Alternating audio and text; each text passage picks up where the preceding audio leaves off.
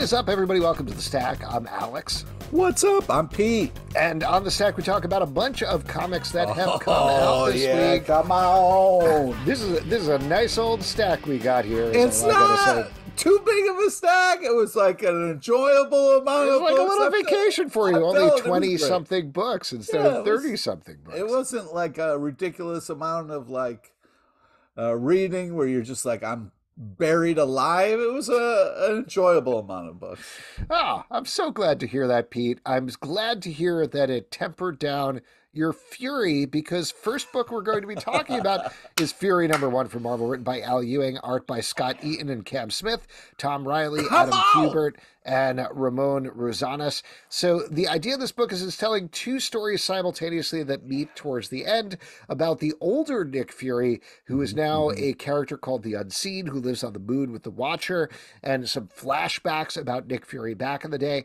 as well as Nick Fury Jr., who is also Nick Fury, the Nick Fury who looks like Sam Jackson in the Marvel Universe. Yeah, are you confused yet, or just me? It's a lot. We've talked about this a lot on the podcast. This idea that like they feel not only did they go through uh, so many backflips to try to set mm-hmm. up, hey, we have Nick Fury who looks like Sam Jackson in the Marvel universe, Right. but they also feel it's necessary in every single appearance to be like, just to be clear, you're not Nick Fury. You're Nick Fury Jr., the son of Nick Fury, who is currently on the moon, and he's a robot. Maybe I'm not 100 percent clear. Comics, man. comics, man. This book, yeah, I'm, I'm hoping is the capper on it. And this is a spoiler here because what it is is basically a way of being like, there is now only one Nick Fury in the Marvel universe. It's the one who looks like Sam Jackson. The other one's gone. He's gone, you guys. He's out of here. The other one's the main one. Great.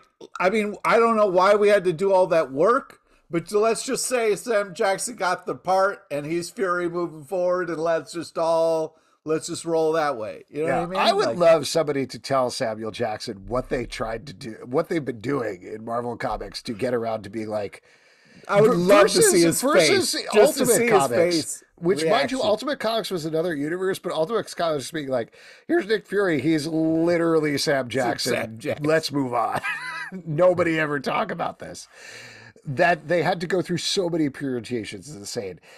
So that that's the backstory on this comic book. But I gotta say, even with all that backstory, this is a good book. I it. like this book. You Yeah. love this? What did you Yeah. love about it?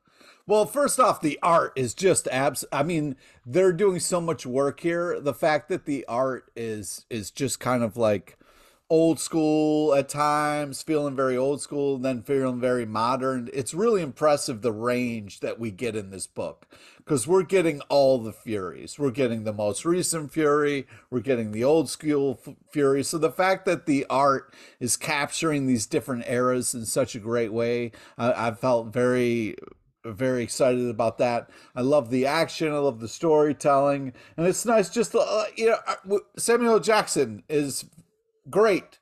I'm happy that, that that okay. That's the Fury moving forward. That makes me happy that we've kind of reached this thing.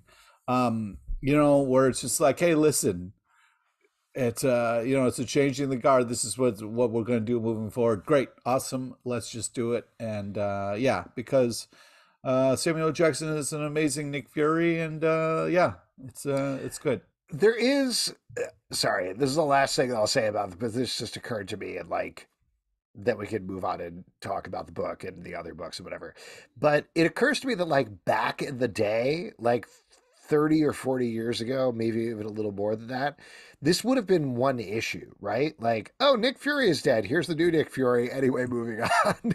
And now in modern comics people are so focused in on continuity and how it works and how this thing connects to the other thing and making it all make sense that they feel like they need to do this big story when it's not always necessary. You can do It's it. weird because comics at sometimes can be very kind of like, oh, you have to do this and you got to explain it and all that. And other times it's like, yep, comics. You know what I mean? So it's like a weird thing of like sometimes it works really hard to do things, and other times it's just like comics. Sorry, you know. So it's weird that like sometimes it goes in uh, does a lot of work to explain something that is just like, hey, this is the new Fury now. Uh, so yeah. Well, and and so we're spending a lot of time focusing on this end result, but I do want to emphasize again that like This is a very good book. It's very well written. If you've been Yeah. reading any of the stuff that Al Ewing has been doing in the Marvel Universe recently, particularly his uh, his Ant Man series, his Wasp series, there was Oh, also I think it was Marvel One Thousand. I might be wrong about this, but whatever. He's kind of become the go-to guy to be like, we're unearthing the history of the Marvel Universe and tweaking it and changing it in some way. And he does a very good job of channeling these old school style stories while yeah. doing things that feel modern at the same time. That's He's what I was impressed with because yeah. reading this, it really felt like the old school Nick Fury stories. It hmm really felt like the modern stuff, you know, and that's impressive to be able to pull off in one issue.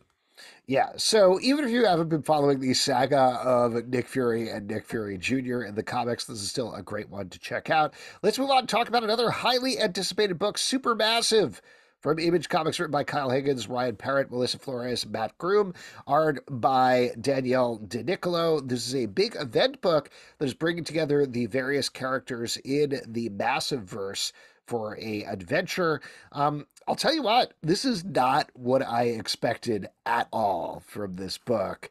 Uh, I don't know how you felt about it, Pete, but I'm curious to get your thoughts about it first.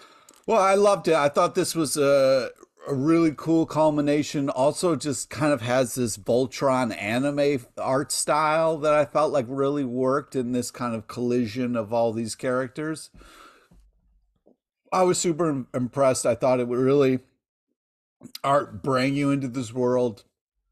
Took all these characters that Are we you getting now choked up? Are you getting sad about this? no, I'm, uh suppressing a burp because I've been drinking beer. But thank you. Uh, I, I think it's one of those What's things the where- difference? I gotta say. yeah, exactly. Um, you're swallowing either tears or you're swallowing, uh, you know. But I Whenever just I go to a funeral, I'm like, I'm sorry, I really got to burp. I got to burp right now. yeah, whenever I go to a funeral, people are always like, "Are you drinking, sir?" I'm like, "Shut Are you about to burp? I'm dealing with emotions. How I deal with emotions." Um, but yeah, I, that's what I, I love about this universe is they really are are doing things differently and doing things impressively. Uh, the story kind of leading the way. I, I'm having I continue to have a blast with this world and this universe, and yeah, I just uh, I thought this was a really badass, cool story. So, to give you a little idea of the story, this is bringing together Rogue Sun, who is the more magically inclined, fiery character from the Massiverse, the two Radiant Blacks, who are both working together but trying to use this radiant black black hole power at the same time. Right, Dead right. Lucky, who is a character who can channel ghosts and electricity powers and Yeah. is more military oriented. And there's a couple of surprises along the way in terms of other characters who show up. But frankly, what I was expecting coming into this book is we've had this plot line of these robots who are coming to annihilate Earth in Right, Radiant right. Black. And I thought, okay, that's what we're building to our, we're kicking off the big storyline here. That's not Nope. what happens here at all. Yep. No, this is about these characters getting together to go Coming on- together. coming together to go on a search for the Holy Grail, which I was very surprised about. Uh, it and and it took me a little bit of the book to get used to it, but I think ultimately I appreciate the fact that the idea of the book was more let's take these disparate characters, figure out how they work together. And then presumably what they're going to do is they're going to bring them back together for this big robot event where they're all attacking Earth. But this really sets this up in a nice, slightly high stakes, lower stakes sort of way, I think. Well, uh, here's the thing. Like I, you know, it, there's this huge kind of event coming, but they got to get like a practice mish underneath their belt before they're ready for that. So you got to Mm-hmm. kind of go Indiana Jones style and be like, listen, let's search for the Holy Grail 1st Mm-hmm. You know, do the old witch cop. You know, and that I, I gotta say, stuff. I wish they had gone for the robots. I feel like they chose poorly. Ah, hey, well done, sir. Well Thank done. You. Thank you very much. I don't That's- normally say that to you, but that was that was well done. anyway, good crossover book. I don't think you need to know anything about any of the books necessarily to pick this up. And, and I wonder if that's you know what I Mhm. mean if that's kind of like which I you know that's it's kind of hard because you know the people who've been reading all along are kind of like uh you know but it's a little bit easier to kind of pick Right. up walk in and just be like what's Well, going and on I, I think it's also the sort of thing where, like, we've been reading all these books, mind you, Yeah. but if you And haven't been they'll reading get Rogue to it. You read Yeah. this, you're like, oh, who's this Rogue Sun guy? This is kind of interesting. Maybe I'll check out that book. Or, Mhm. oh, I, I missed Dead Lucky. What's going on with Dead Lucky? So, And all these books are great. So All it's these books are great, and you should Yeah. check them out. Um, so good stuff. Very fun book. Great team up with these writers. And like but you said- were you were pretty thrown by the by the grill instead of the I robots. You- was. I was very thrown by it. could you not enjoy this because you wanted it, or were you okay with it? Um, that is a that's a good question, Pete. Because it Uh, seems like you're fighting yourself. A I little am uh, fighting myself because I know this was a quality book, and like Yeah. they did a good job with the characterization. There's really fun bits between the characters. Like Yes. you mentioned with Daniele Di Nicuolo's art, it is not easy to bring four disparate books together and make it work thematically as art, and, and make it still feel like all the characters are in- Exactly. yes. And it 100% works there. But the way that the story went, I'll get into a spoiler here, but this was the other thing that held me back. The first half of the book, I was like, are we getting towards the robots? When are we going to get to the robots? And then when I realized, like, okay, we're doing this Holy Grail thing instead. That's what's going on here. It has nothing to do with the robots.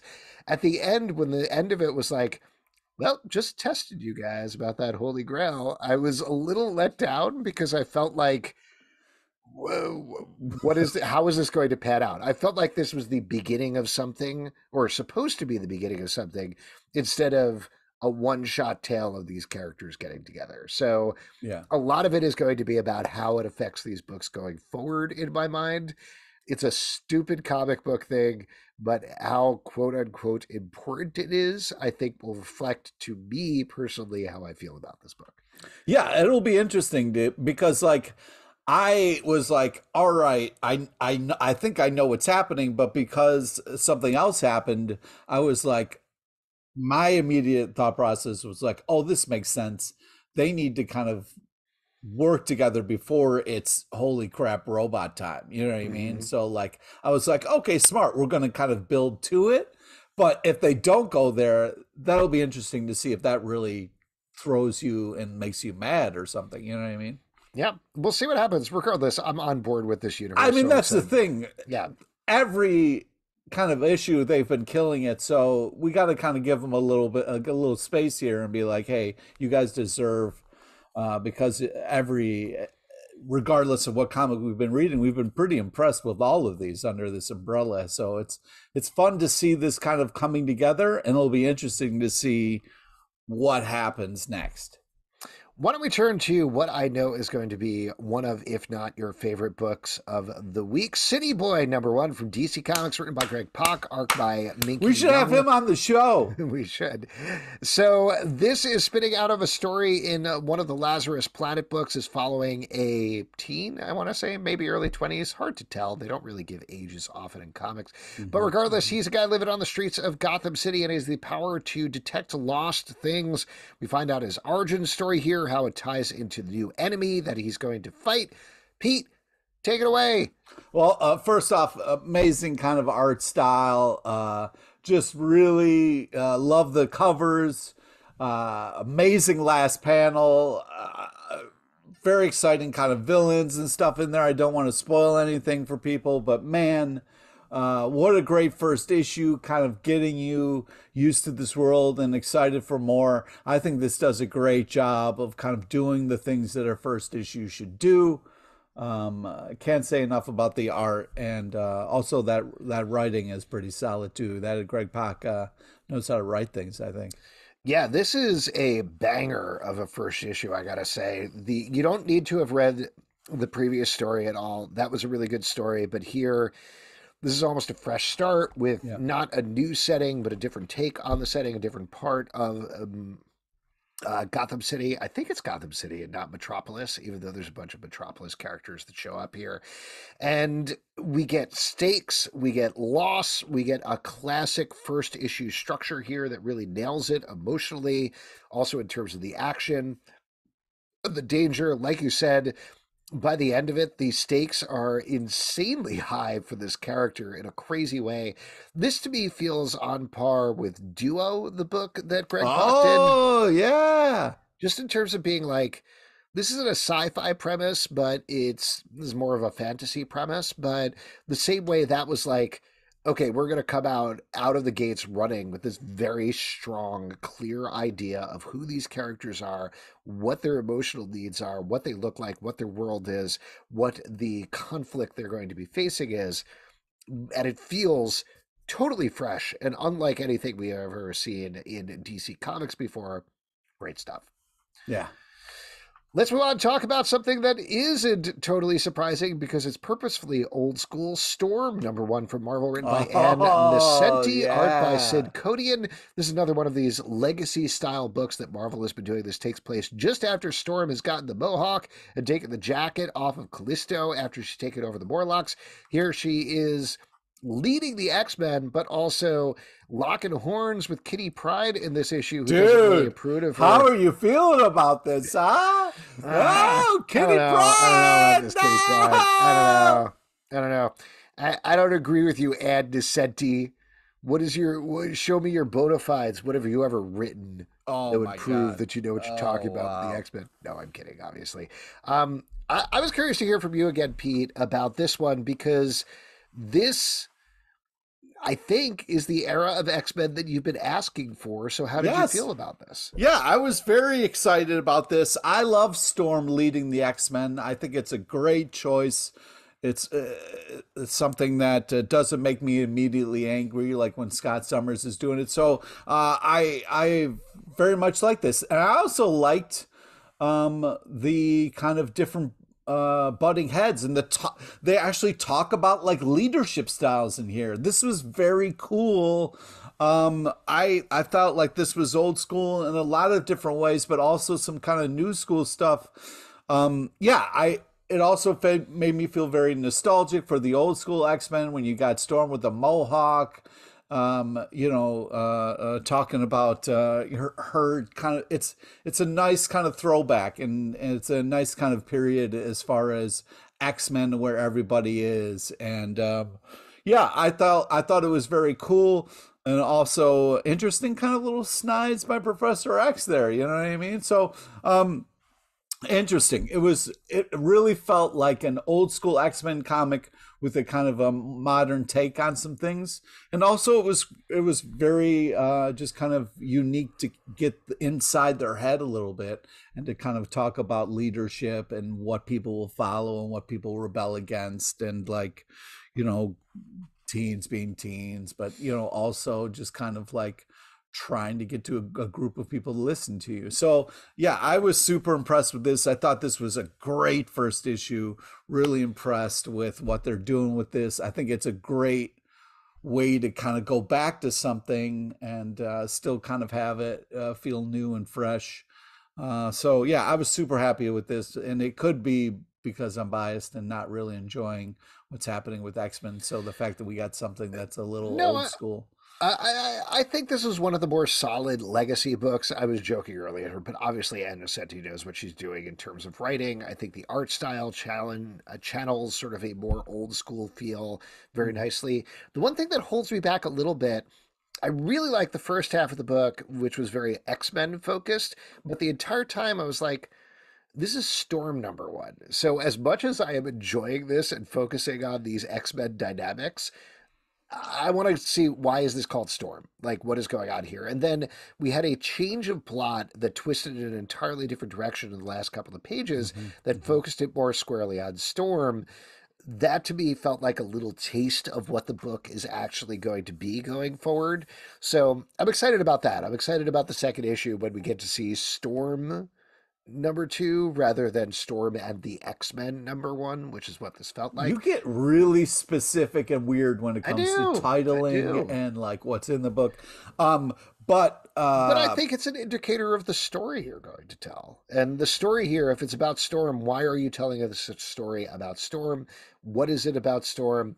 And particularly because we get so much time like I could see an opening scene where it's her leading the X Men, it leads her to a conflict, and then we get a solo story about her. But instead, there's a bulk of the book is spent with these X Men characters, which is enjoyable. But I feel very like, when are we going to get to the fire? Yeah, but it's also about perspective, right? Of like storms kind of going through a crisis in the water, but everybody's playing on the beach and so you know what I mean. Like we're kind of spending time with them as well to Mhm. kind of get like this whole thing about like you don't know what somebody's going through. You don't know you know all the things that are going on just because you're at the same location doesn't mean you're experiencing the same things. I think it's an interesting idea that I hope they're going to explore more. Is this also, about when we were at the beach this past weekend, Pete? Yeah, yeah, I almost died and you didn't care at all. I was trying to get my rays, man. You know that my rays are Dude. important for me. This glowing golden skin doesn't, uh, you know, maintain itself. Golden. Golden skin. I think maybe you got to get your eyes checked. Uh, I I just also think this wall behind me. basically. that's why I was confused why you would compare yourself to gold. Um, I also thought it was I felt very nostalgic to Kevin to have a Mumm-Ra villain towards the end there. I felt I was like, wow, look at this! I'm getting Storm number one, Mohawk Storm, as well as some Thundercat shout outs. Man, my childhood's coming back around, baby. Ah, everything's coming up, Pete. well, before your childhood vanishes in front of your very eyes, why don't we talk about Vanish number seven Oh, from Image Comics, written by Donny Cates, art by Ryan Stegman. So, if you haven't been following this book, it is about a Harry Potter s trio that has gotten older. The Harry Potter character is kind of hitting on hard times. He's bummed out. And when he finds out that the lieutenants of the Voldemort type character have been pretended to be superheroes, he becomes a supervillain to fight them. However, the thing that we've been dealing with, this gets into spoilers, but particularly as was starting to be teased and revealed in the last issue and is pretty much confirmed in this issue, uh, Justin is here just as we're talking about Vanish. Justin, welcome. I was just setting up the plot Hey, welcome. Vanish. Oh, I love. I I feel like when you said vanish, I appeared. That's what's so Ah, crazy. it's the how we do it. opposite of That's what we do. vanishing. Yeah, that's the Yeah. Opposite. There you go. No, I vanished from somewhere else. That's the crazy part. Oh, I see. I get it Ah, now. okay. Okay, all right. Well, I think uh, you were summoned because of your experience with David Copperfield back in the day, which we can't really talk Yeah. about right now. We don't have time. But no, don't have time. We're in a rush. The thing that I was going to say about Vanish number seven is we finally get confirmation of the thing that I think has been bubbling in the background that this main character, this Harry Potter type character, is by killing these other supervillains, he is reassembling Vanish. That is what he is doing. Yeah. He's finding the different Horcruxes and putting them That's together. That's the word I was going to use. Yeah. Exactly. But here's the other thing that I wanted to throw out at you guys that has not, I think, been clear throughout this series, but was not readily apparent to me until this issue. I think the thing that Donny Cates is dealing with is addiction. And this is something that he's been pretty public about that he has dealt with himself. But specifically the idea of like what does addiction do to you? What does it do to the people around you? What does it make them go through to save you? And this to me was i think the strongest issue of the series just because it finally took the lid off of the premise. It took the lid off of like the thematic idea of what he's doing here. And this is the first time the series beyond being like hardcore throwback to extreme image comics of the 90s felt Yeah. like it had a whole lot more going on and really encouraged me frankly to want to go back and read the rest of the series now that i'm aware of this stuff I agree, and I wish they. I wish that the team had just done this earlier on because, like, I love being on more on board with this premise, and we're able to sort of feel bad for our main character while also being really like wary of the fact that he seems to be sort of on board with this Voldemort coming through. Yeah, I'm glad we're getting past this. The kind of like it's more than just hardcore Harry Potter. It's like Harry Potter, but action, adventure, and violence. So I'm I'm glad that we're getting uh, this kind of other layer and this other stuff happening. Uh, don't get me wrong, I, I I love violence and love action. Yeah. Uh, but it's Yeah. also nice to get some story in here and um, yeah, some really just a lot of flying characters, a lot of characters flying like right at us, but uh, also some really cool ideas and uh, really kind of exploring some things, but also just some like uh, amazing Ryan Ottley art here and uh, love the flashing of the fangs is always such a fun thing. Ryan Stegman, you mean? Sorry. The Different Stags.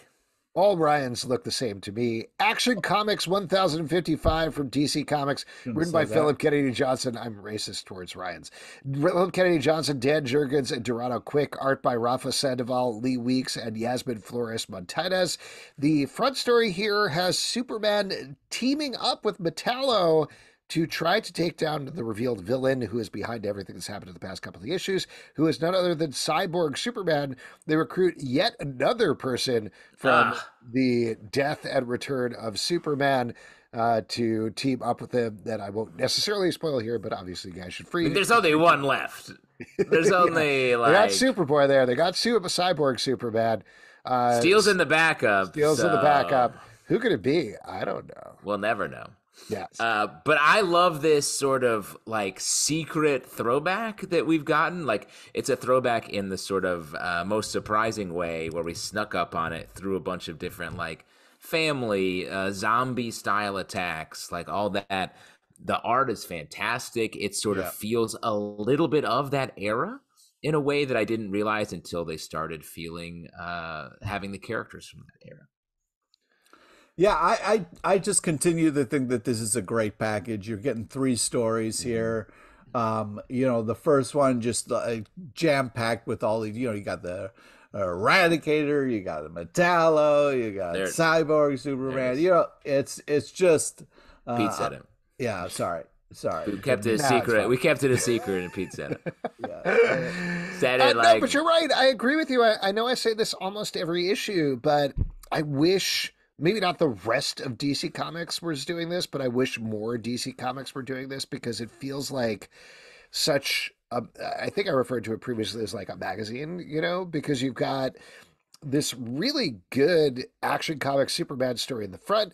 Then Right. you have a throwback story with Dan Jurgens and Lee Weeks, Oh. which uh, is fun. You, you got a love it. Doomsday. It you feels got very old thing. school. Yeah, it's I fun. it's really enjoyable. it. It feels like Smallville, the next generation, or something like that, but it's very enjoyable. And then you have a great Steel story in the back that feels fresh and new as well.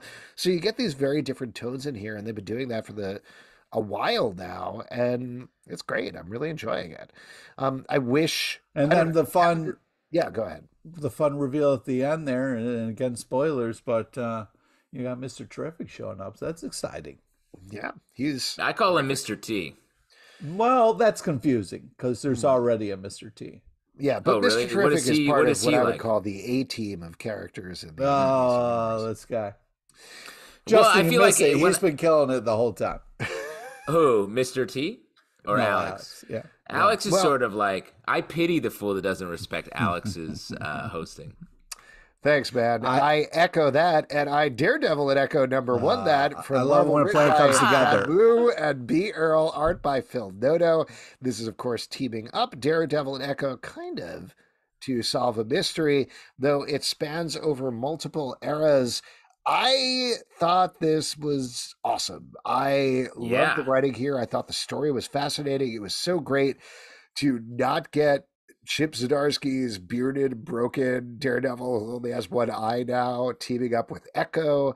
The art by Phil Noto is Yes. phenomenal as always. I went into this being like not necessarily trepidatious, but like, eh, I don't know, is this going to just be a kind of a nothing story? And it is so How much more. dare you? It's a something story. How Yeah. dare devil? How dare devil with that attitude? Um, I agree. I, I thought this was great. I love the sort of uh, time span that this story uh, takes.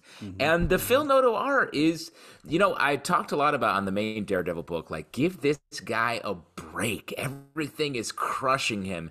And honestly, this story being a little bit different, but the Phil Noto art just having a little bit of brightness to it and like sort of like, hey, let's get things back organized with the clean lines that he's using just was a the refreshing uh, bit of palate cleansing, like a bright sorbet that I needed. Yeah, I, I really love this. Uh, I agree. The art is just absolutely beautiful, and I would compare it to a, a lovely sorbet as well. Um, I just think that uh, Daredevil sorbet. Da-na-na-na. Daredevil sorbet. uh, I think that this is just such an interesting kind of team coming together for this and i was very happy with the story very kind of impressed with all the moving pieces that we're working with that felt seamless. Like uh you know uh, daredevil's on the roof elektra's there like uh talking some shit and then you know we're moving on to echo. So like i really appreciated the kind of like little check-in moments that we had and then kind of moving the story forward with this whole kind of villain and the whole pound of flesh which we've yeah. heard and seen before, but this is a little creepier and a little different. So, yeah, I was super impressed with this. As far as the number one, they did a great job of setting up this world and getting us excited for more. So, uh, killing it. And uh, yeah, I'm I can't can't wait for the next issue of this. You know, when Prince wrote the song, it was originally called Daredevil Sorbet, but the French made him change it to be about oh, Another terrible thing that the French have done. Hey. Terrorwar number two from Image Comics, written by Saladin Ahmed, art by Dave Acosta. This is taking place in a future world where there are teams of fighters who are tasked with fighting nightmares that come into our reality. They have brain bullets, the only things that can destroy these nightmares. This book is satirical and ridiculous, but there's actual stakes at the same time.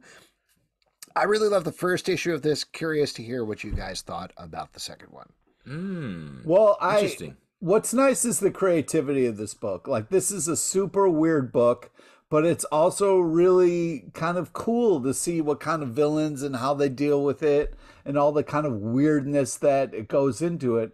I'm having a good time with this. I still think uh, uh, it I'm kind of like, what's going on a little bit, but I'm still, I'm having a great time.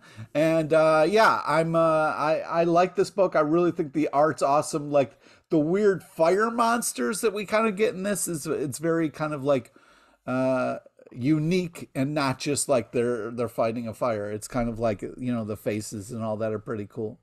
Yeah. Faces in the fire yeah, just yeah. like regular candles and stuff. I was surprised.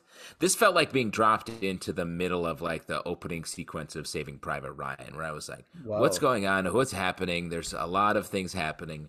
Um, so I was a little bit uh, sort of trying to catch up, I guess, while I was reading this. Uh, but I agree. I I do like these ideas at play. I guess I just want a couple characters I can really grab onto. There's. Uh that is the one thing that's tough about this book, I think, right now, because you've got this one team of terror fighters who we met the, the previous issue. Right. They are presented with another team of terror fighters at the, at the end of the issue. That's a rival team. It's a rival, rival team. team. And they're both fighting in this issue. Uh, first, they have... hate each other, but then they gotta work together. But right. then, oh, so there's a lot of gotcha. that sort of stuff going on. So I think, like you guys are saying, we aren't quite hooked into these characters emotionally yet, but I think we're getting there. And I like the art and I like the tone. It's very funny and it's very arch. So I'm enjoying this book a lot. Um, but yeah, I'm curious to see where it goes. Nightwing 104 from DC Comics, written by Tom Taylor, uh, C.S. Pacat, art by Travis Moore and Daniel Hor. The front story is Nightwing and the Titans trying to protect a little girl at the end of the last issue. Neron gave Nightwing superpowers. As we find out, he has two oh, hours man. of superpowers ah. he can ah. use any way he wants.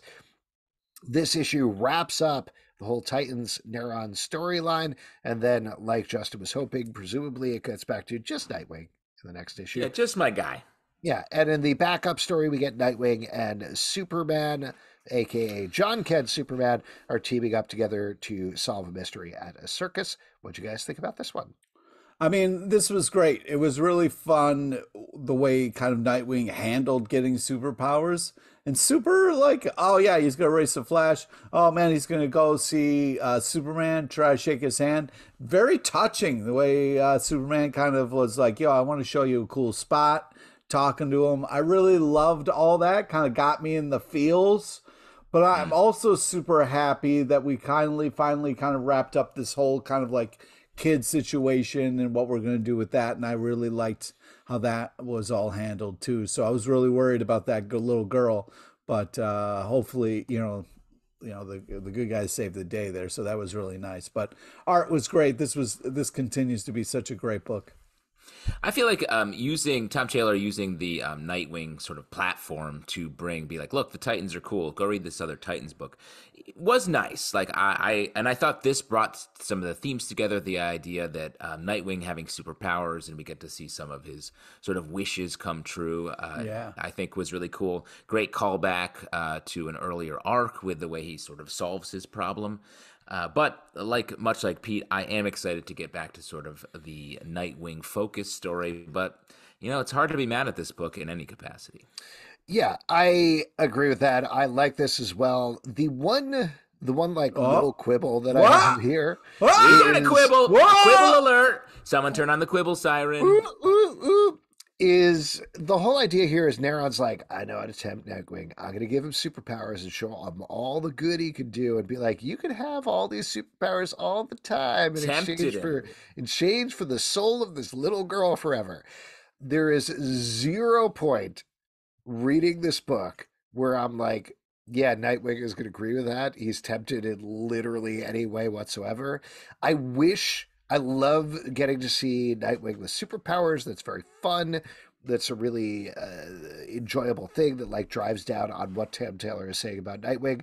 But there is no tension for me with Well, the. I, I would like to rebut your quibble, sir, because Hmm. Oh, put on the Uh-oh. Quibble rebuttal alert. siren. All right. for It's this the villain. Yeah, uh, reverse. who is kind of obsessed with you know power, the kind of like trying to you know understand, you know, good and bad and all that. I felt like he had a smart idea, a, a thing that he believed. Like once somebody gets superpowers, they're not going to want to get it out. You're not going to want to be like, yo, listen, I got superpowers. You know, no, it would be hard to give it up. And this idea of like Nightwing, think about how much more you could accomplish if you did have superpowers. You know what I mean? So like, it's an interesting idea. You know, at different times of life, maybe Nightwing might fall for that, but I feel like Nightwing's in a good place. He's not going to fall for that. I think maybe maybe never, but I don't know. But I just thought it was an interesting idea of like if you had superpowers, but we had to take away from you, what would you do to be okay with still having all that power? You know what I mean? I think a villain would think that there's no way somebody could do that, not understanding somebody who is a good person and okay with who they are and all that kind of stuff. So I felt like it it made sense for them to be like, no way nobody's giving up superpowers. This is a brilliant plan. So I kind of felt that. If this was a book called Neron, then I feel like that would make a lot of sense. Whereas him being like, I know, I'll just tempt him. But I think it's time for the rebut undercut because what I would say in, in response to both of you. yeah, that's just chaos noises. Uh, the more interesting choice in all of these is to have Nightwing say, "I will take those powers. I will, because then I can do do more good, and then eventually I'll come back and rescue this girl." That's a choice that Eventually, I think that's a choice that lines she's up gonna with. die right away, bro. You can't I, just. I, say I, I appreciate what Oh, you're I can saying, put this little girl on my to-do list, Yeah, and eventually, like, first once of all, I raise fuck the this Flash, little girl. and then Send her to fucking hell. She's just hanging in hell, which is like, oh like my god, it's not a permanent. Super thing. nice. I would love that actually. If Nightwing is like, you know what, these superpowers are actually really good, and the rest of the Titans are like, what? what? The fuck? It's not about him being being uh like selfish about it. It's about him saying I can do more good if I have more power. Like Mm-hmm. that lines up with some of the things that Nightwing has been saying. Where it's What like, would be I'm not- great is if he was like, yes, I would like this power, and then he took that little girl and like punched her right in the nose, Yeah, and like, broke her nose. How and many little girls do I got to punch to keep this power? and it, it, Neron would be like three, and he'd be like, okay, on it? got it. just lined up little girls and just boom, going down the line. Just Not punching them hard enough to kill them, to be very clear. Just Yeah, hard enough to break their nose. And uh, that's it. There Then you he gets to fly around. He can finally be a wing. how many girls would it take for you to punch in the face to get superpowers? that Because would- that's the question. Nightwing turns to Naruto. It's like, just to be clear, for every little girl I punch, I get two hours. I get two hours. two hours. That's it. And Put it- Neron's like, yeah, and he's like, sounds good. And then we get a fun we get a fun spawn clock with him counting down uh, his powers and counting up and then little girl punch. and then he has like to do list of like don't forget to save little girl. And it's like oh, I keep meaning to do that. Yeah, this is really Ah. cool. It's like Hour Man, except he's two Hour Man, and instead of taking a pill, he punches little girls in the nose and breaks their nose. oh man, two hour man's a great idea. Great pitch. that to Twice me as is like Twice as DC. Dan DiDio comes into the office and he's like, "Guys, I got an idea." Two Tell you hours. what, it's it's hour twice man. as good. It's twice okay, as good as the everybody last. Hour Man. The robot Hour Man, they all love it. Two Hour Man. It's good. Yeah, we're And building our whole like- publishing uh, slate around this. All right, why don't we move on? Star Twenty Wars hour man, Superman. Too much. Two hour man, that's a tops. Maybe three hour man, I don't know. Star Wars Darth Vader, black, white, and red. Yes. Marvel, written by Jason Aaron, David Pepose, and uh, Victoria Ying. Art by Leonard Kirk, Alessandro Vitti, and Marika Cresta. This is three short stories about Darth Vader. The first one, the Jason Aaron Leonard Kirk one, is a continuing one where Darth Yeah. Vader was incapacitated by what is revealed in this issue to be a trial run for Darth Vader, which is a wild, crazy twist. Uh, Yeah. I, I think we were very pleasantly surprised by the first issue of this. Pete, it seems like you were even more pleasantly surprised by the second one. Yes, I agree. We get uh we get three stories in this, and it's really You uh, agree? I I, agree. disagree. I- we don't get three stories in this. Uh yeah, I'm having I had a blast with this. I really love the use of red in this. Um the What did you think about the black and the white? well, great. Also, But I wait, love, I'm a let's rank sucker- them. Let's rank them like I'm a do. sucker for black and white art, so this is all my sweet spots. Uh, I do think the second story, this Darth, uh, you know, Star Wars meets aliens kind of thing, was such a fun uh, kind of romp to go on. I just thought it was such a cool idea and a fun mix of things. Um, and uh, yeah, I also really loved the third story and this kind of juxtaposition of the kind of red background with the black helmet of Darth Vader. It was just such a cool, unique look. A lot of amazing panels in this. But yeah, I love the story. Really love the art. The black and white with the red popping everywhere was just so much fun and so unique. I, I really had a great time with it. I feel like we lean a little bit into the red in this. You know what I mean? There's yeah, we do. A lot of red, baby. Just put No, more I- red up there. Just have No.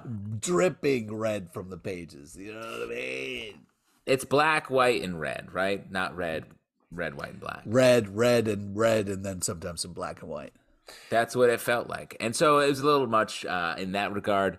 But I uh, like the first issue more than this one. I thought this one, like I, I'm into the Jason Aaron story. Come on, one- man. No, but I, I like this format. I think this is a great way to tell us more Darth Vader stories without having to be like, this story takes place uh, in the minute eight of Empire Strikes Back. it lets us push out a little further, so I'm here for that. Yeah, I thought uh, these were three strong stories about Darth Vader. The Jason Aaron story is absolutely wild, but I think the David Pepose story and the Victoria Ying story were both strong as well. This is a good collection. I uh, didn't know what to expect from this, but I'm really enjoying this so far. Indigo Children number three from Image Comics, written by Curt Pires, art by Rockwell White.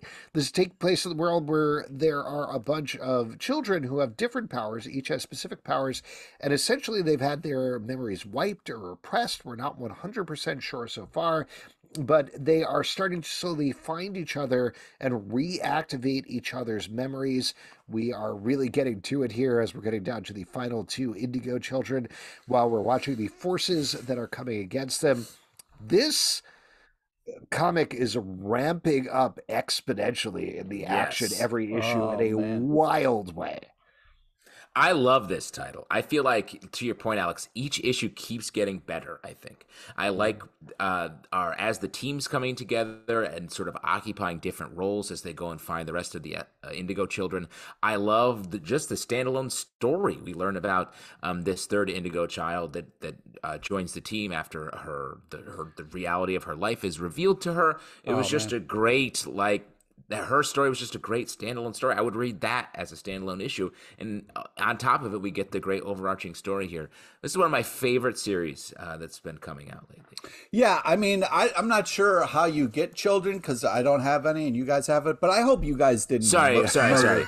Murder, Sorry, sorry, this- sorry. Somebody's parents and then just take a kid. You know what Uh, I just mean? one. I just one quick question, Pete. You said you're not sure how to get children. Yeah, yeah. You said you're not sure. Because in this comic, How- how, you how get a sure? child is you murder the parents and then you take that child and raise them as their as you know you would their own. And so I'm are just you wondering if that's what you guys did. Are you saying that's your number one way that you get a child? I don't know. I don't. I didn't get any children. I don't have when any. a I man don't and a woman love them. each other very much, they kill somebody else and they exactly. take their children. Yeah, exactly. So That's how I yeah, did it. Parents are fucked up, man. Mm-hmm. But yeah, I, I, think love that- my other person's kids. Eh, I gotta say, Pete, don't go to Park Slope, Brooklyn, because there's a lot of murderers there. I bet. I bet. All those kids in strollers, man. I mean, where are they? I, I just want to say real quick that Rockwell White's art on here is out of control. I think like there there's a page spread. I don't think it's a double page spread. It's a page spread where the Indigo Child in this gets their memory back, where all the memories are spreading out yeah. from what I don't want to spoil it, but what's happening in the middle of the page, phenomenal layout there. I this is so good. And I did write it down, but whoever does the colors for this book as well, like that should not be undervalued given the fact that indigo is such a big part of it. Great stuff. It's sort of like um uh, a blue. Hmm. Uh, so Purple. That's what you were color wondering. is D. D. Kniff. Kniff, yeah. There you go. Fuck. Unstoppable Doom Patrol number three from you, DC man. Comics, written by I Dennis. looking it up. Fucking I piece was of looking shit. it up. I was looking it up. I was looking it up, man. Didn't say the name fast And, enough. Hey, Yeah. you both said it. It was great. You said it beautifully. Unstoppable Doom Patrol number three from DC Comics, written by Dennis Culver, art by Chris Burnham. I am super bummed that this is just a limited series instead of Yes. an ongoing book because it is so much fun. In this Yes. issue, we get a mild parody of the Fast and the Furious as several members Too of the Doom. Patrol try to take Toofers. uh, Starbro, who is a dude Starbro. Attached to a Starro but become its own kind of uh, own psychic Call entity. Starbro. They are being chased around by Kyle Rayner and Guy Gardner, and they're in a race around town. This is so much fun. This is a unlimited possibility in the DC universe, and I hope enough people read this that it can become an ongoing the same way the Poison Ivy did, because I'm having such a blast. Mm. Agreed, 100%. This is just absolutely fantastic. It's so creative, so much fun. Love the art style. We kind of get a fun road trip here. You got Starbro, you got Cliff, the Negative Man. This is just great, fun stuff. And plus, they're making fun of Green Lanterns as the douchebag cops that they are. And it's just a, a blast. It's just so they're just kind of making fun of DC Comics, making fun of themselves. It's just it's very creative. It's a ton of fun. The art is fantastic. I love this issue. I love all the stuff that happens. I'm having a great time with this, and I don't want it to end. Um, yeah, I agree. It is it is very fun. I'm trying to feel like figure out where it fits into into the larger DC universe, and it feels like it's its own thing. It has um, a little bit of like Justice League dark energy, where it's like right next to the main superhero world, but um, and including some of them, but is actually operating completely on its own. But this is the kind of stuff that I like to see that DC does, taking some risks and having these stories that aren't so superhero forward. Um, very fun. Thor number 34 from Marvel, written by Toren Grønbekk, art by Juan Gedeon and Sergio Dávila. I got to be honest, we haven't been really keeping up with Thor, but part of the reason I threw this on the stack is that Thanos was fighting Doom on the cover, and that seemed cool. So there's He a just lot of. picked it for the cover. I picked it. It's worth it for the cover alone, as I always like to say. That cover is Ah. bananas good. There's a lot going on in this book as Thor Should trademark is trying to save a child who. This is a spoiler, but I think it, it reveals a lot of the story. It turns out that the child is Hela reborn, and they are Yeah. slowly Hela. raising Hela up. Who? Meanwhile, back in time, Thanos and Doctor Doom are trying to chase down what they think is a black stone, a new black infinity stone. So, this is a big thing that is going to lead to bigger things for the Marvel Universe going forward. We know it's tying into that and setting that all up.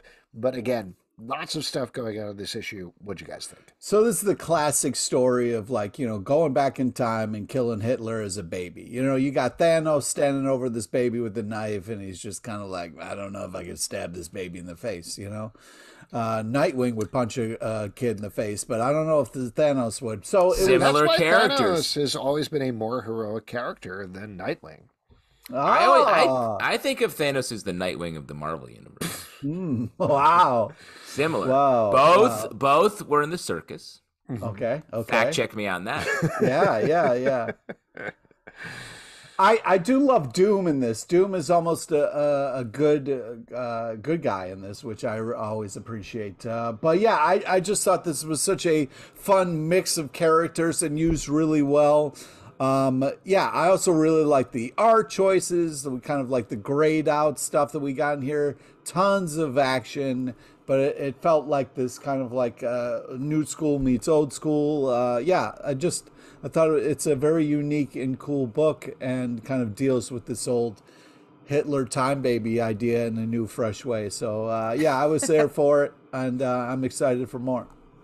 It's interesting that this um, it may be leading into some larger Marvel ramifications because it's sort of a real sneak up. Like seeing Thanos pop in, you have all these people dressed in their like Norse clothes, and then he's in his little outfit. I thought was just such a funny, uh, weird thing. I am not sure that the teaser for the next issue is sort of the end, but also the beginning of all things. So looking forward to see where, seeing where that goes. But in general, this feels a little bit like some DC style energy. Like, mm-hmm. hey, it's like a the, a, a thing you know about the Infinity Stones, but a worse one shows up, injected into the Marvel universe.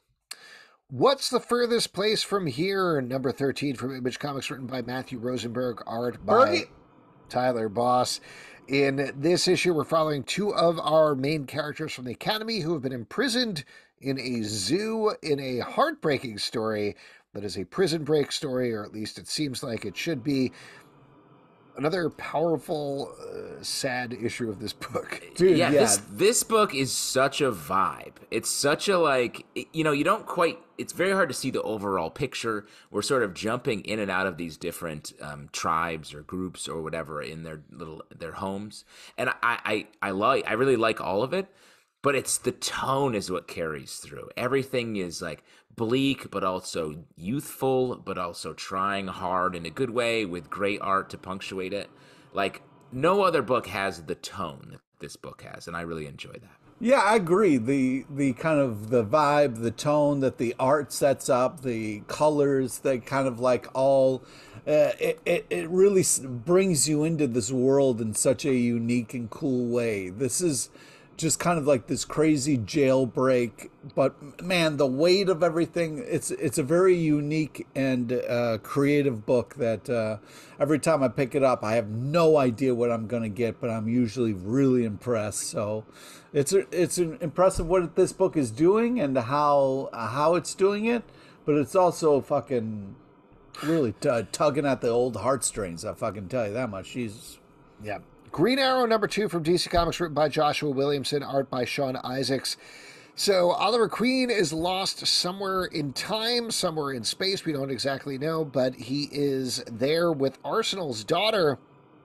Meanwhile, back on Earth, Arsenal and Black Canary are teaming up to try to figure out exactly where they've gone. So we've got this whole mystery structure in two different places going on at the same time with members of the Green Arrow family. What did you think about this issue? I like Green Arrow falling through the multiverse a little bit. Um, a character that I feel like when we get him out of his pocket, he's better. Uh, because he, he's such a one of the he's one of those characters that just doesn't change. Just very has a very specific philosophy, skill set, and everything is sort of like right in line. So getting him into another place, I think, is really cool. And then uh, we get a character reveal at the end of this that I thought was interesting, and I'm curious how that and the last uh, sort of the last page how that plays in. It feels like sort of a different um, tone or energy to bring to the Green Arrowverse here. I don't know why he would change. He's at the peak of technology. You know what I mean? Like he has he's mastered the bow and arrow. You know what I Mm-hmm. mean? There's nothing else that you can master that is more technologically advanced than that. So why Yeah. change? You know, That's I how you change the TV station on your TV, right? you know it. I know Uh, you turn it when we finish podcasting. You, I see you uh, stretch an arrow back and shoot it right into your laptop to turn right. it off. Yeah. Um. That's that's. I go through a lot of a lot of laptops, but it's worth it every time. Uh, first off, some great covers. Love the the whole kind of premise of this, kind of splitting up the family to kind of get them back together. Uh, also, really like the reveal at the end there. I don't want to spoil it, but it's kind of a fun, kind of fun last couple of panels. Uh, yeah, I it it is stuff that we've uh, you know seen before, but uh, I, I love it, and um, it's a, a cool story, and uh, uh, I'm having a great time. The X-Cellent number three from Marvel, written by Peter Milligan, art by Michael Allred. This is continuing the story of two teams just want that social media clout. That's all they're going Ah. for, and they will kill whoever it Yeah, takes they will. to get there. Uh, this is my favorite issue of this new series so far. I think it really Oh. dives into the social media commentary in a very serious and Is it- apocalyptic way. Yes. Is it because you wish you could spit on people and they would slowly die in front of you? Oh my God, a dream. Please uh, sign me up. Uh, yes, please. Table for one. Uh, check, please. Right? All Wow. of that. I'll Oh, have yeah, what wow. he's having. Yeah. Uh, all of yeah. I'll bring you the check, sir, but you haven't even ordered yet. Okay. Uh, check, please. I love walking into restaurants and just being like, uh, check, please. Yeah. They love it. Waiters love that as a, just a comment. They think Right? that's really fun. Man, They've never guy- heard of it This before. guy's great. Get him a free dinner. He already paid. Oh paid my for god, it's so funny. Yeah. Well, all right. Why don't we move on? Talk about another comic book. What did you think about the? Uh, X- I thought this was also excellent. Uh, I I do think this is a book that uh, each issue builds toward sort of the larger point. Uh, it's sort of like we we know the world that this book is covering, and it's edging closer. And it doesn't uh, shy away from doing horrible things, like uh, much like you just mentioned with the spitting on people. Yeah, I think that you know the real hero of this book is the art. I mean, this is super type banana stuff. It's really uh, kind of such a It's a unique- classic team. yeah it's a unique cool style and um you know i you know I, I don't you know some of the stuff going on in the comic is is for comedic effect but um it's also twisted and dark and kind of messed up so i'm enjoying it on that level as well. The Forge, number three from Image Comics, written by Greg Rucka and Eric Trautmann, art by Mike Henderson. This is following a bunch of mech warriors who've been trapped on an alien planet by worm creatures who are teaming up with an ethereal precognitive goddess who is trying to lead them out of that for unknown reasons. So lots going on in this book, but big action. As I mentioned with previous issues, Mike Henderson's art is out of control here in terms of the action, but also the clarity of the action. I can't Yeah. that enough. Um, I love the series. Well, this is a, a book that is in such the the creative team is in such command of the story. Like it's a complicated story. There's complex things. There's some coyness happening where we where we don't know why um, the precognitive goddess where the powers come from and what the point of sort of the her choices are. But like I still ride with this. Like I you're right there with it. You're following it along. Even the complicated technology they're dealing with. It's it's just what really well thought out, which is no surprise coming from Greg Rucka. So I enjoy. Yeah, I, I think it's one of those things where I, I agree with everything that is said. I, I love all the intense battle stuff and the you know the barely making it out alive, the the intense uh, kind of like mecha art style that we kind of got in this, which was great. Clean lines, a lot of amazing action, over the top stuff. Um, yeah, it's all very interesting and fun. I think it would just be really annoying to have somebody just like constantly being like, "You got to do this in two seconds. You have four seconds until this happens. Thirty, sec-" you know what I mean? Like, you know what I mean? I would, I kind of be like, you know, stop. Just, I, we get it. It's all and going to seven shit. seconds till we get to the next comic. Yeah, Six. yeah, yeah, yeah. Five. All. Eight Eyes, number two from Dark Horse Comics, written by Steve Foxe, art by Piotr Kowalski. This is the most Kowalski. terrifying book on the stands right now. Nobody should ever read it because it's about giant spiders. Let's move on. Yeah, yes, totally agree. Don't You like that read Alex is this scared? comic. I'm No. scared out of my wits reading this Yes, book. This it's is a fucking nightmare. Now, like, uh, first off, abandoned buildings are scary as fuck already. But now I'm thinking there's fucking giant spiders in there now, and uh, it's made everything worse. Just everything is now worse. Is it because they're giant? Because I've I know how much you guys like regular spiders. no, No. no. Oh my god, I feel great. I I'm so bad. I keep sending you boxes of spiders. You Oh do, my and I wish you would stop doing that. That would be the Okay. worst thing that you could mail. I'll just go back to what I did before, which is go to your house and just uh, dump them out in uh, in your basement. Is that that's better? Because it's less of a No, male that's thing. also not good. I've told you a couple of different times in many different ways that that is not good. I no. You're They say you out. everybody swallows two spiders every night they're alive, and I know I know that for It's a fact eight. because the Snapple fact is an average human swallows eight spiders in their lifetime, in their sleep. in their And lifetime, that fucking Snapple fact has haunted the shit out of me. Yeah. I know for a fact that's true because when you guys go to sleep, I come into your house and put a spider in your mouth. Do you know what I do actually? I used to uh, sneak into stores and put eight spiders in each Snapple. So I was like, let's Oh, get this out of the way all at the same time. Well, they shouldn't have. Snapple shouldn't have released that all spiders flavor of their fun beverage. all spiders iced tea. I enjoyed Yeah, the sorry. kiwi spiders. Yeah. Sorry, we. I enjoyed the Wait. 50 50. That was like half iced tea, half spiders. That was much better. yeah, uh, definitely. That's I the, mean, uh, the art in this is great, but it's also creepy as fuck, so I can't really enjoy it. um, I couldn't remember the name of the golfer that a half lemonade, half iced tea is named after. Arnie So I- Palmer? I don't. I almost called it. I literally almost said it's called a Tom Hardy. But, that's, but that may be what a half tea, half spiders is called. It an actual Tom Hardy. That's, that's true.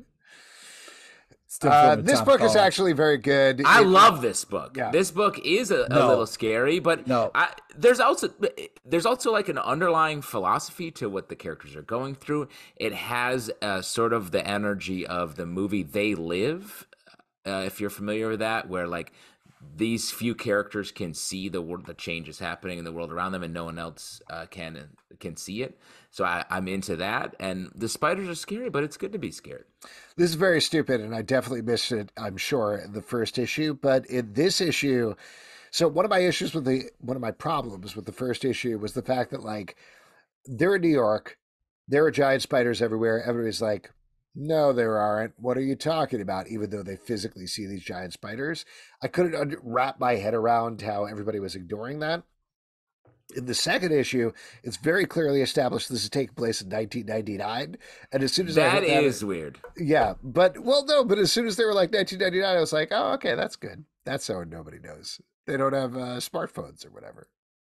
Well, let me say, Oh. if that's the underlying, because the the references are like Bloomberg, Bloomberg's going to be president. I was like, why are we doing this? Why are we trying so hard uh, to do this? But whatever, that's fine. Yeah, And I is think it's set there so that it's like if it was the internet, it would already be all over the place. Right. So beginnings of the internet, it's okay. There's dial up still and everything. It's tough to get information. Ain't it cool news is in its prime. You know, Wow. yeah. anyway, great, terrifying book. I, I think it is, frankly, the mark of a good book if it scares you that much when you're reading it. Want to move on, talk about a lighter horror book, Hallows' Eve, number three from Marvel, written by. Erica Schultz, art by Brian Reber. This is following a character who used to be dating Ben Reilly, and now she has some magic and masks that can turn her into monsters. In this issue, she comes face to face with the one and only Amazing Spider Man. Oh yeah. Mm. Uh, I really like this book. This is one of my uh, favorite characters in the Marvel universe right now. Favorite new characters like the power set's really interesting. I like the sort of riding the line from villain to hero that we've been following here.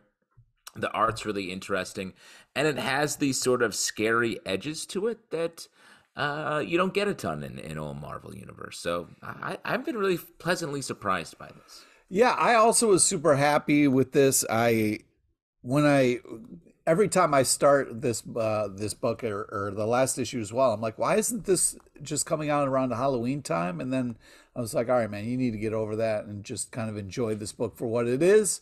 And once I did that, I, w- I had a blast. I really liked this character. I liked this power set. This is very cool and unique and different, and I'm having fun. Also, fun kind of last page.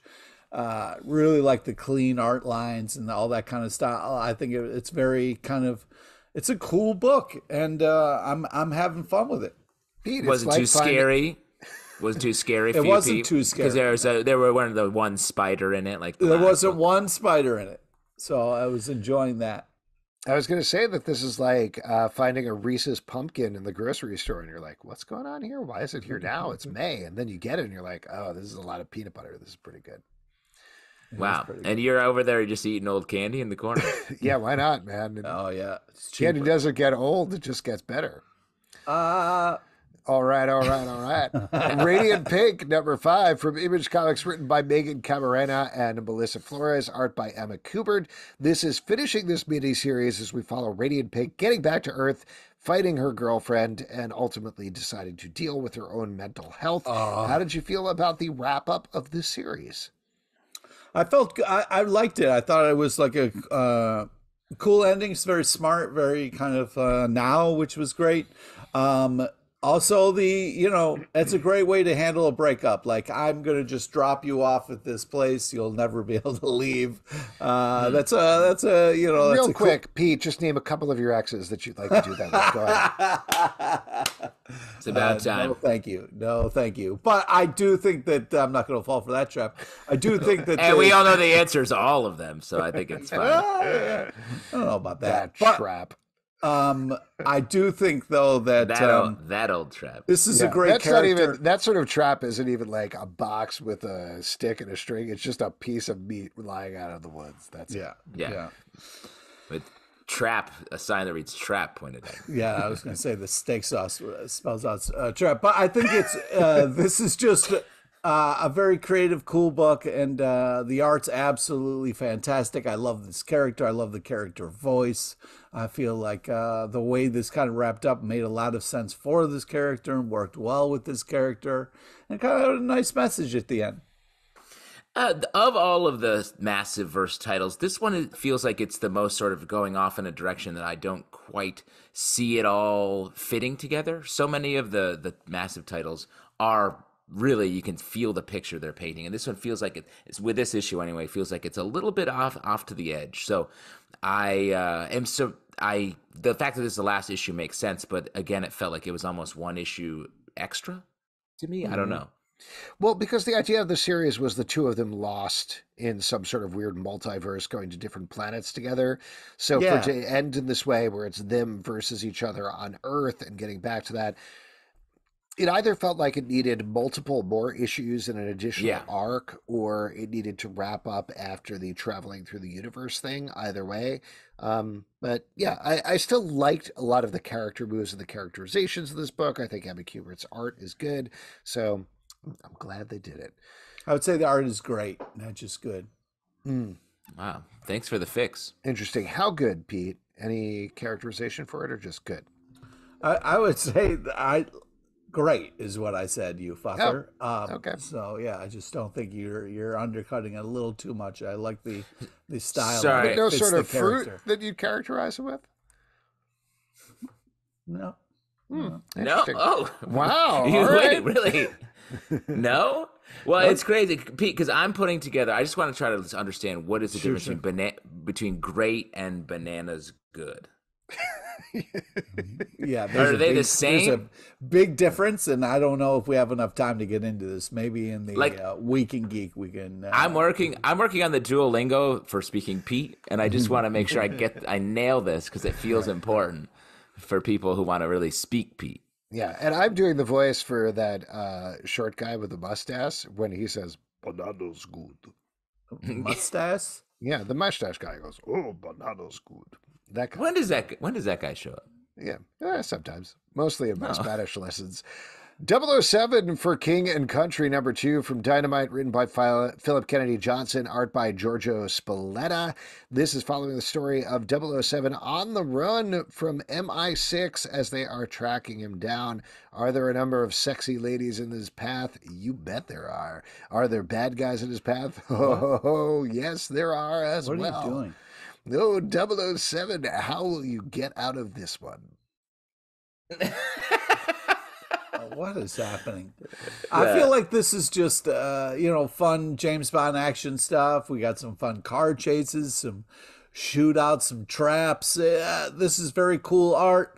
Love the panels, love the the action the art portrays, like the different kind of shadings and stuff, and the the scope shots are really intense and great use of the comic form. Great use of the comic form. I, I, really like this. It feels like the way that you can extend Bond into a new type of story.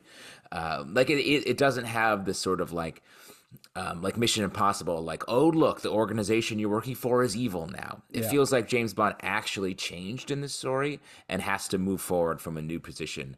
Uh, I like the dialogue is great. The characters who are chasing after Bond and uh, Gan are really good and, and unique as opposed to just um, your standard like just random double O agent. So I Phillip Kennedy Johnson just uh, keeps hitting. Yeah, Phillip Kennedy Johnson knows how to write stuff.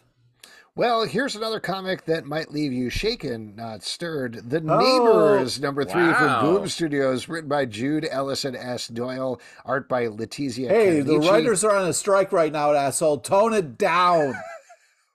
what? Wow. this is where like 50 comic books into the stack, and that's the time that you decide to make a joke, me saying writers.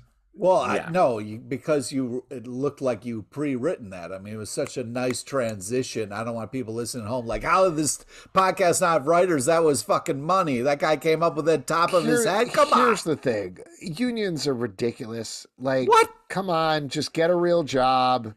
Do mm-hmm. whatever the studios want you to do.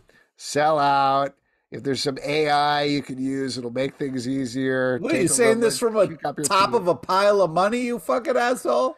All I'm no, I saying. Think it's, yeah. I think it's obvious that um, Alex has just proven that there aren't writers writing on this uh, podcast. Pretty much no. Uh, we support the writers, WAGA strong, etc., etc.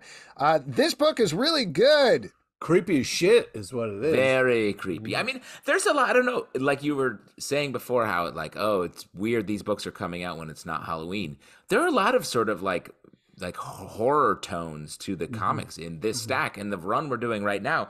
And this is just another one, one that we've talked about the just underlying tension that is uh, in the story obviously but also just in the art. It's a great that's a hard thing to do in comics and this book is just crushing it in that department. This is by the way about a family that moves to a small town and of course encounters some weird horrifying things that are going on there. It seems like maybe they're being replaced by other creatures or something. It's not entirely clear as of yet but things amp up in a big way in terms of the terror in this issue. This is as quickly as it's going, we're only in the third issue. It's very much a slow burn at the same time. Very scary book. Very well done. Hellcat number three from Marvel, written by Christopher Cantwell, art by Alex Lins. This is taking Hellcat and Sleepwalker and a bunch of other horror characters and putting them in some horrifying situations. What do you guys think? Yeah, I mean, I think first off, you know, don't trust the talking bunny. I think we can all agree on mm-hmm. that. But Bugs? Also, Bugs Bunny? You know, Bugs Bunny's named that because Bugs Bunny goes around and puts spiders in people's mouths. Uh, don't you don't you taint Really? Bugs I always Bunny. thought it was because he was made of bugs, like Vincent D'Onofrio uh, Men in Black. Oh my god! I, Are we sponsored by Vincent D'Onofrio Men in Black? Because he you, certainly you, comes every time up I bring it up, I get 50 cents. That makes sense. Sugar water. you paid sugar water. Why I get another 50 cents every time I prompt so many times that I've laughed every time. that's, it. that's not a bit. That's just a real thing that Alex keeps saying. Yeah. Oh, my God.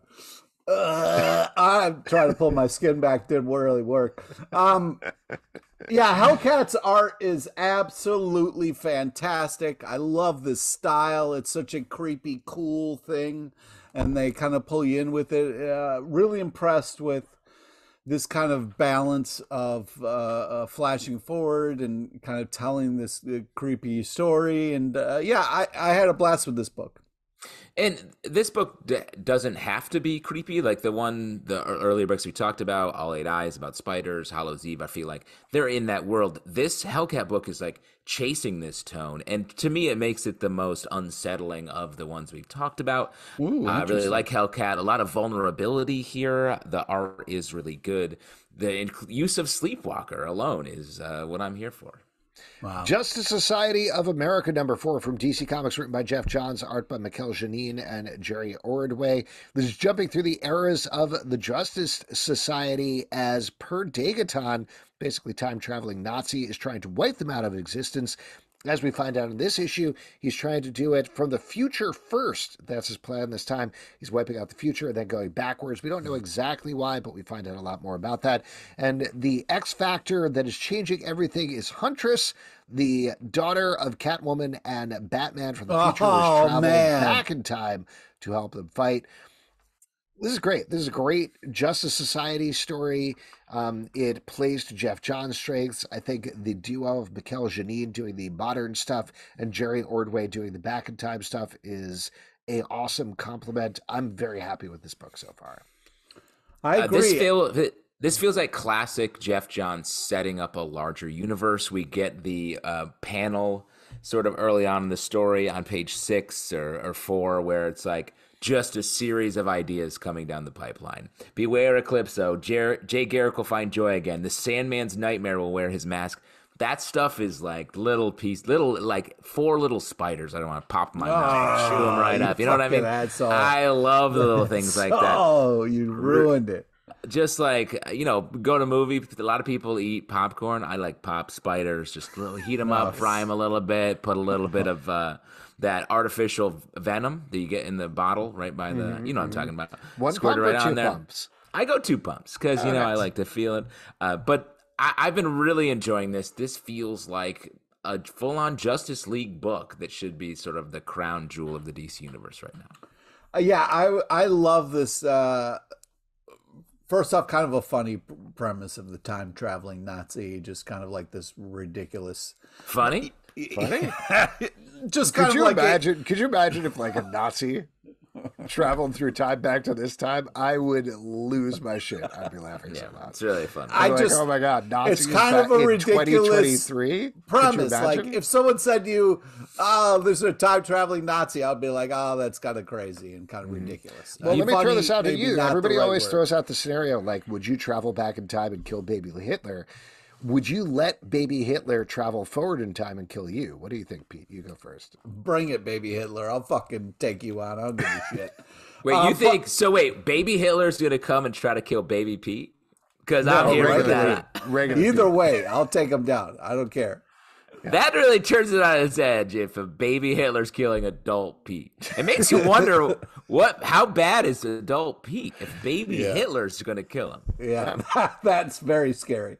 Um, I've done a lot wrong in my life. I, I just think that this is like such a fun premise and also like that last line just really stayed with me long after I read it and thought it was such a cool line.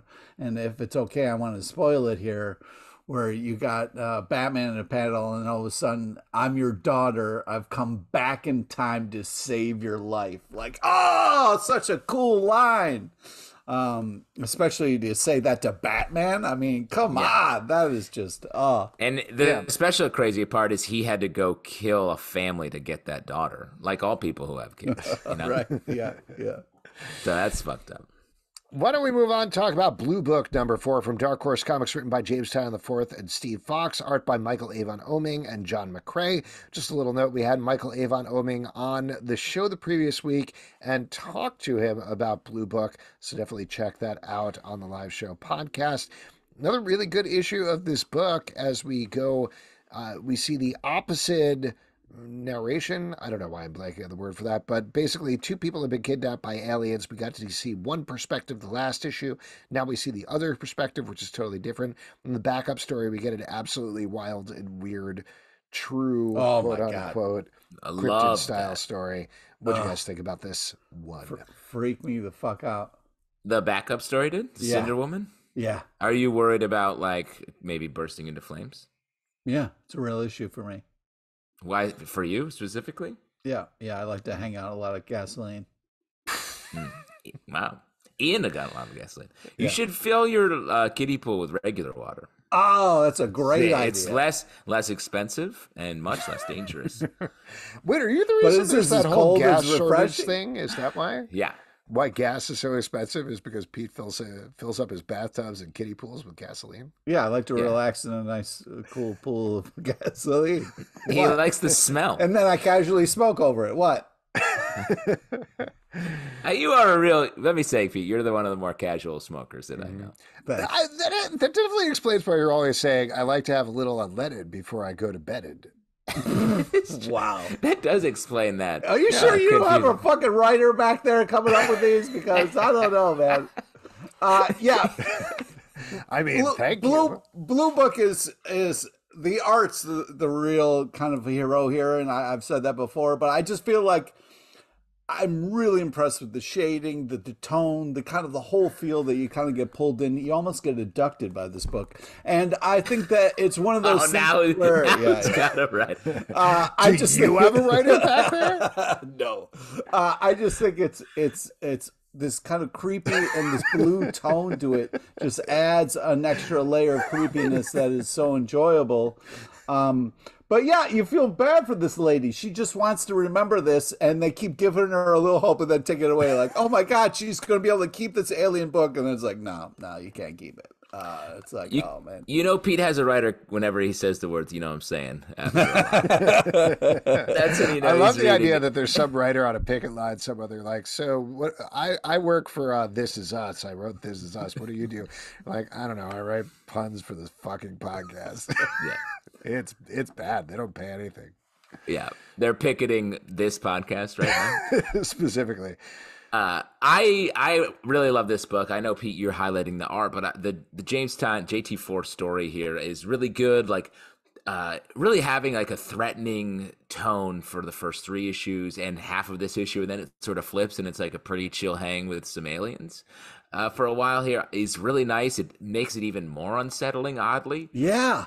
Hard to tell where it's going as a story, and then the backups they've been doing with these sort of Oh my god. plucked out of history like horror moments horror stories I, and that feel very real that have like sort of the x file like if is an actual mm-hmm. x file pulled Yeah. like it's great it's a great like two like one two punch of a series Last but not least, Harrower, number four from Boom Studios, written by Justin Jordan, art by Brian Level. This is the final issue of this book about a small town who slaughters their entire Ah. teen population once a year to replenish their crops or keep the count going or whatever you want to call it. We get all the revelations in this issue as well as find out what's going to happen next.